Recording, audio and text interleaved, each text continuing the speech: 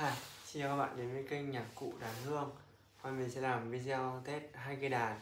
Đây là một cây đàn bầu máy lắp sẵn loa dành cho anh Giang.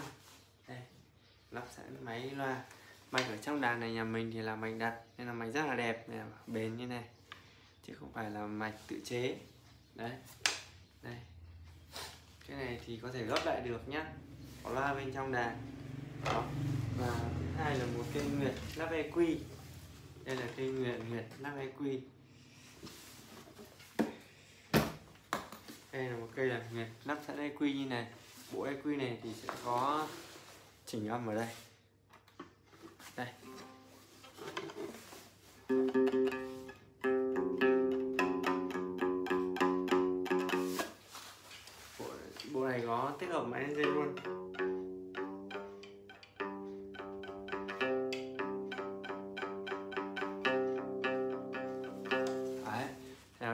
Đây là đàn người theo cơ trên này thì có chỉnh à, bát chỉnh chép nhá. Đây có chỉnh bát này. Ở đây bát đây chỉnh bát này lên bát xuống bát này. Chỉnh mít này chỉnh chép chỉnh siêu chép này. Ngoài ra nó còn cái tính năng này thì mới mình mới phát hiện nhé nó là gọi là cái phây cái phây này nó có cái tác dụng là à, với cái đàn nguyệt ấy khi mà các bạn đang cắm loa này. Đấy mình đang cắm nó như này. Mình vận loa lên nhá đây, mình đấu thẳng loa và đàn vào mic nha.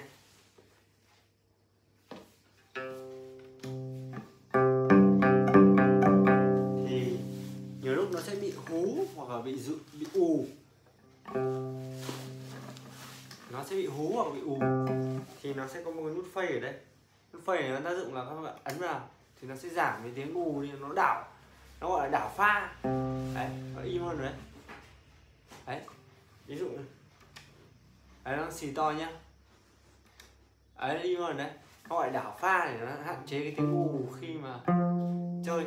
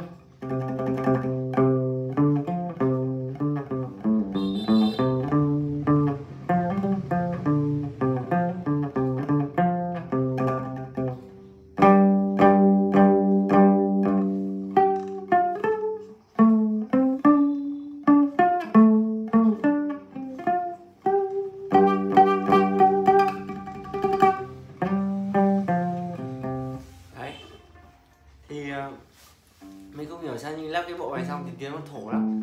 Nên là mình nghĩ là nếu lắp cái bộ này thì nó sẽ chỉ thích hợp chơi trầu văn thôi. À, các cái bài uh, chữ tình chứ nó sẽ không hợp để chơi dân ca cho lắm nhá. Để mình thấy tiếng nó khá là ấm và thổ. Chứ nó không nó mất đi cái tiếng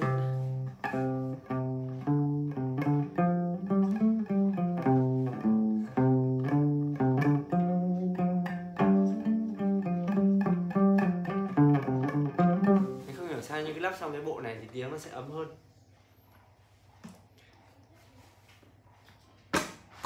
Đây đây là một cây đàn nguyệt lắp sẵn EQ cho chú ngọ nhé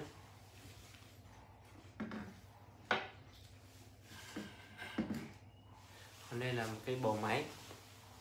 Đây là mình sẽ test cái bầu máy này trước khi lên đường. Thì cũng sẽ thử hết các tính năng của nó. Đầu tiên là phát nhạc đây. Các bạn cắm một đầu vào đàn, một đầu vào ただね。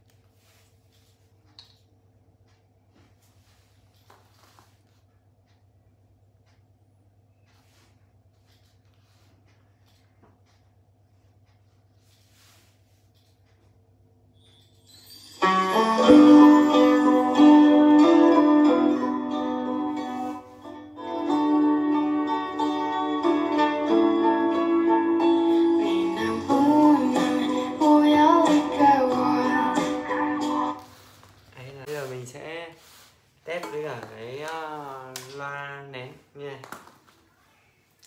mình sẽ cắm vào đàn bạn lên.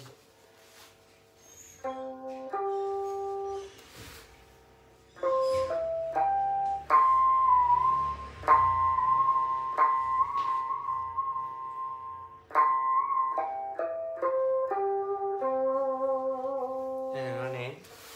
Tiếp tục bây giờ mình sẽ test với loa trong đàn nhé.